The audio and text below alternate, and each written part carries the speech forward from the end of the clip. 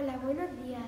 El día de hoy hará fuertes rachas de viento y también sería, será un día muy lluvioso.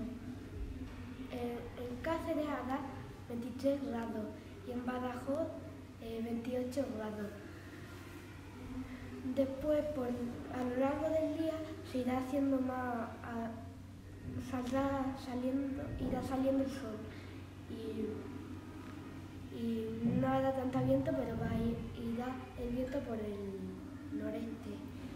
Eh, adiós, nos vemos en este canal el mismo día.